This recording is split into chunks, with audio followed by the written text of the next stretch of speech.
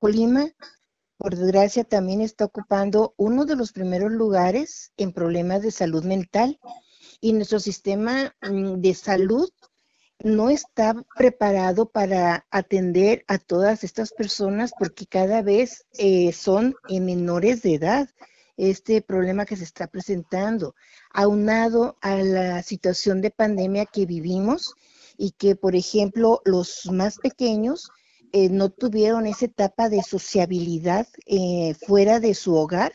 y estuvieron restringidos no estuvieron en jardines, en parques, en, las escuelas, que tuvieran esa convivencia con otros niños y con otro tipo de, personas. Ellos están ahorita sufriendo un problema severo de depresión y se manifiesta en diferentes formas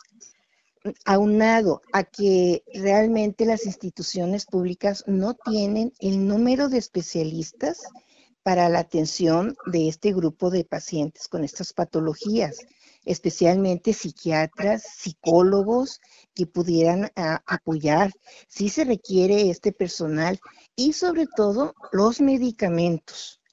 Muchas personas que ya tenían instalado un tratamiento, pues por falta de ellos no han tenido la continuidad y su problema que se estaba controlando, pues por desgracia sufre de complicaciones. Por eso la importancia de un médico especialista, que en este caso un psiquiatra es el único autorizado para dar este tipo de tratamiento.